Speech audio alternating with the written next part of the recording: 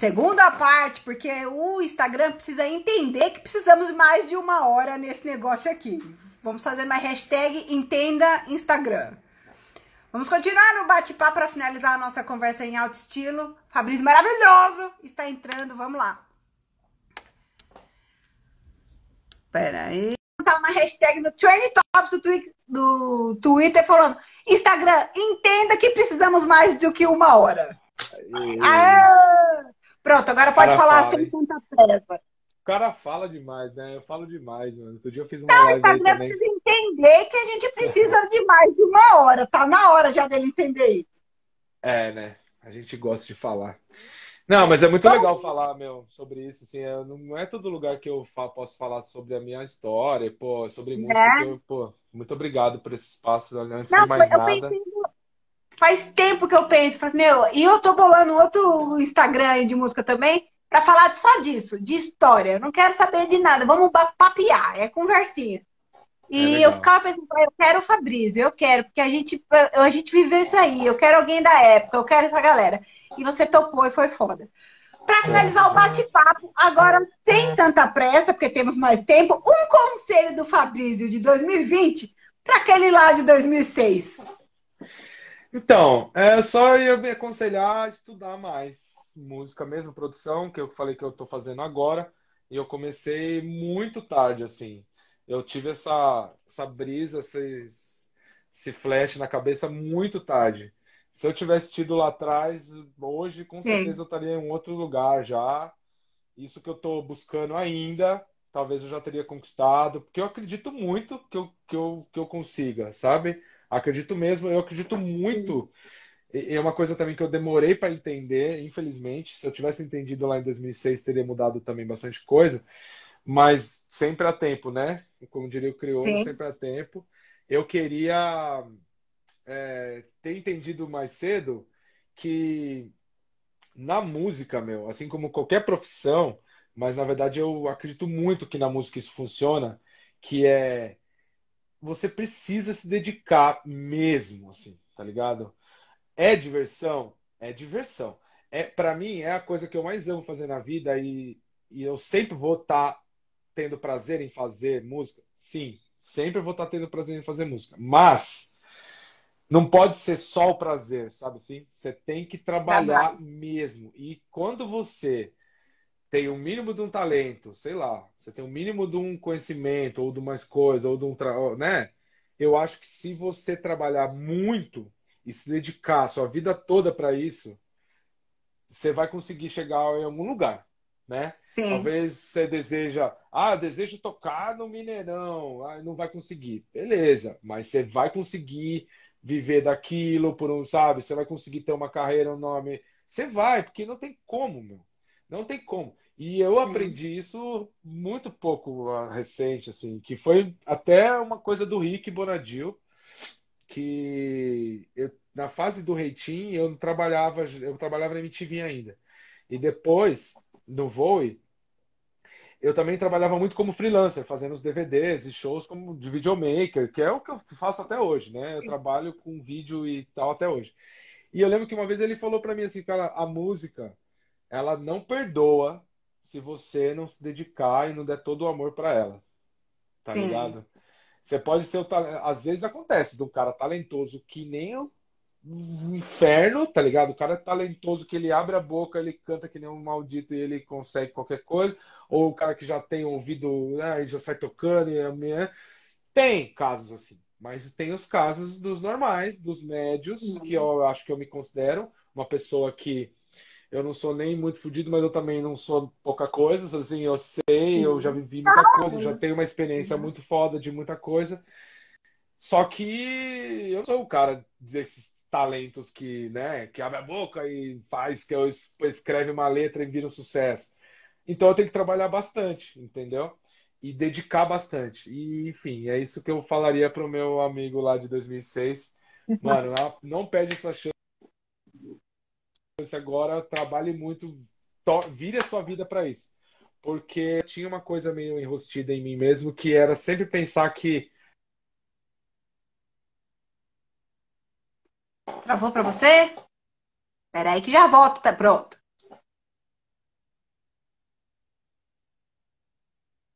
Que fosse parada que sempre moveu minha vida, ela não poderia ser a primeira opção da minha vida, assim, de coisas, tipo, de uma profissão. Eu sempre Sim. tinha a minha profissão, trabalho de videomaker, que foi o que eu me formei em rádio e TV, estudei, como uma coisa, tipo, ah, isso é o que eu tenho que fazer da vida. A música Sim. vai vir como consequência, se não der, não deu. E eu acho isso um pouco errado, assim, depois. Eu aprendi depois de muitos anos que eu acho que talvez se eu tivesse tratado a música com uma, outra dedicação, talvez isso eu falo para qualquer, entendeu? Nem todo mundo tem possibilidade de só fazer isso, claro, eu tive que trabalhar, então por isso, mas resumindo, vai, falei demais, mas é isso. Chama maturidade. É, e é uma coisa que eu sinto muito isso hoje, cara. O que eu me dedico a fazer, o que eu corro para fazer, o que eu falo, vou fazer. E eu passo madrugada fazendo, e eu passo madrugada estudando, uma hora consigo. Entendeu? É. Então... Isso é muito bom. E me dá um medo. Qual que é o medo do Fabrício? Medo?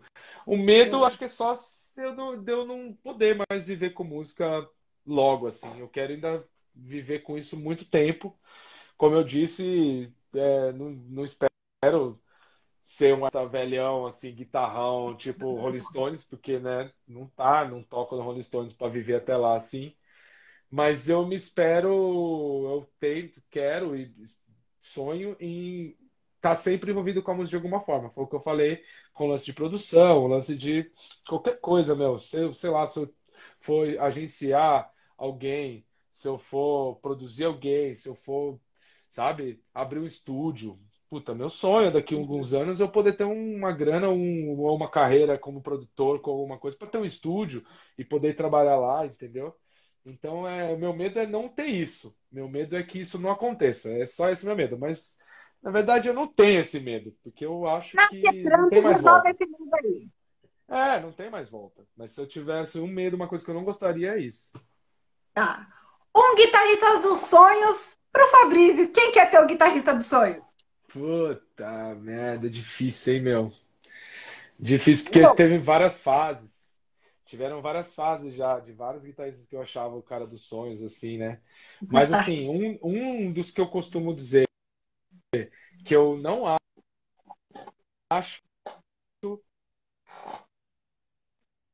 que em toda a minha existência eu vi outro guitarrista Boa.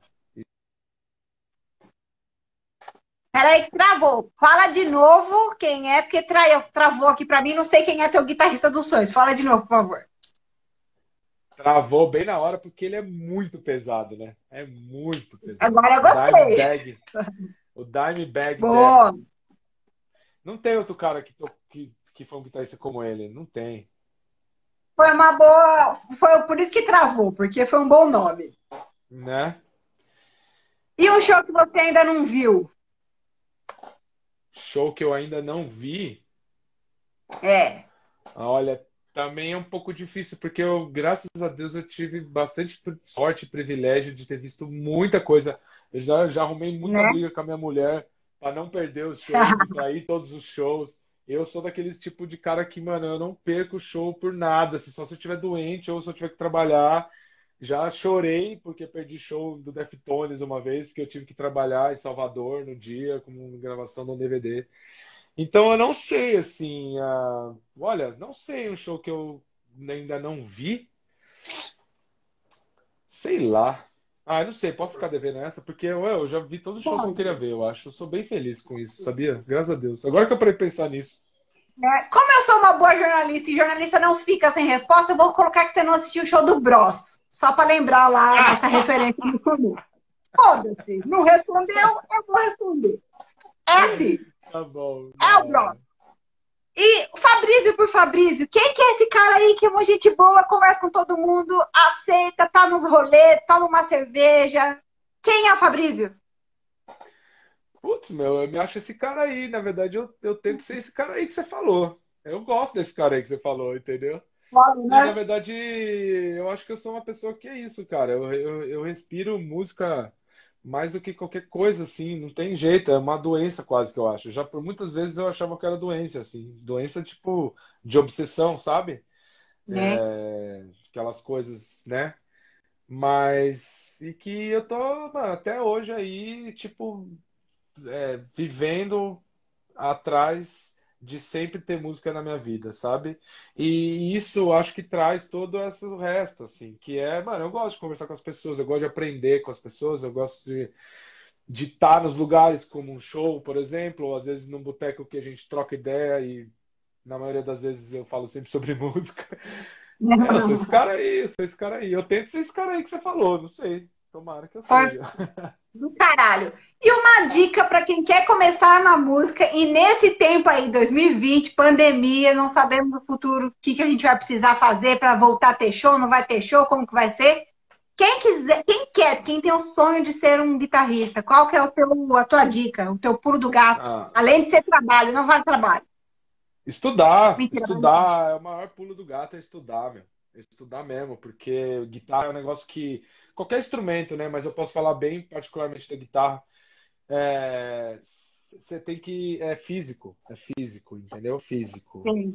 Você tem que fazer. Sabe é, academia? Eu sempre costumo dar essa, essa analogia. Academia, você vai, primeiro dia você tá gordo, fora de forma, e você vai. Você fala, ah, não vou conseguir, jamais. Mas aí você vai todo dia. Aí você vai tudo, aí você começa a emagrecer um pouquinho, aí você fala, mano, agora eu vou mais ainda. Agora eu vou até parar de comer porcaria para ficar mais. E aí você vai. E a hora que você vê, passou três, quatro meses, sei lá, depende de cada um, você tá no shape que você queria. Você tá forte, né? você tá não sei o quê, e você já começa a pegar mais força, né? Eu tive uma fase só assim uma, na vida, então eu falo eu também com propriedade.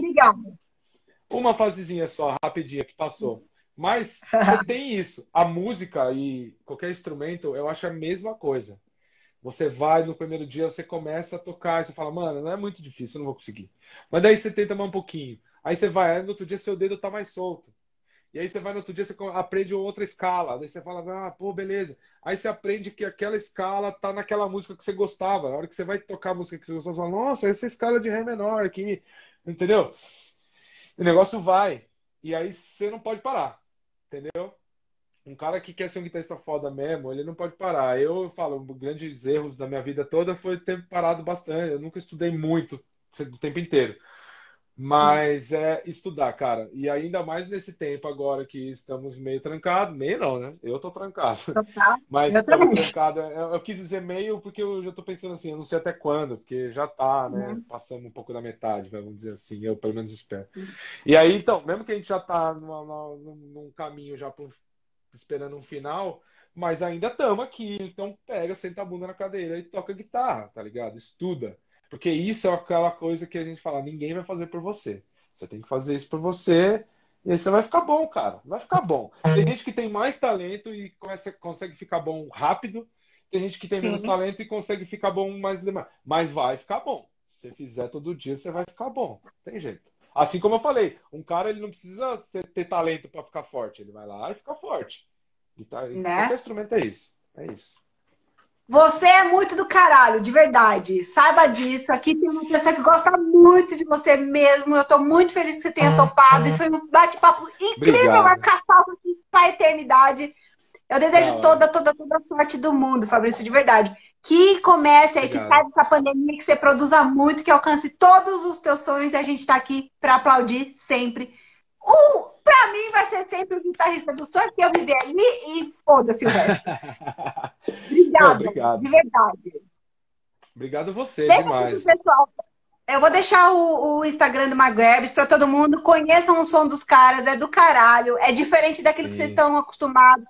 Isso faz toda a diferença na música. Obrigada, Fabrício mesmo. Manda um beijo pra Nina, é pra mulher. Pode deixar, pode deixar. E vote com o igual que eu estou apelando aqui. Obrigada. Tá bom. Não, vou fazer, eu vou fazer na minha Twitch que eu tava falando. É, Boa! Tem um canal na Twitch que eu tô fazendo live, tô fazendo um monte de coisa, que eu, foi um caminho que eu encontrei para sair da pandemia, assim, para me expor né? as coisas que eu tô fazendo. E aí eu quero fazer um programa lá que vai ser o Ritual Extended, que eu vou botar o disco e deixar rolar o disco inteiro e ficar comentando sobre, ficar explicando quem que gravou, onde, por quê, quando, aonde. Então, esteja lá. O caralho Muito tá obrigada, de verdade. Obrigado demais Beijo. É, pelo espaço, amei. É nóis. Imagina. Conte comigo para sempre, que quiser. Eu sei. Beijão, bom descanso. Beijo. Tchau, Galera, tchau. valeu! Valeu.